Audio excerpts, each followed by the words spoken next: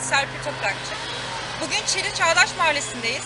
120 metrekare olan 3 artı 1 dairemizin görsellerini almaya geldik. Detaylar için beni arayabilirsiniz.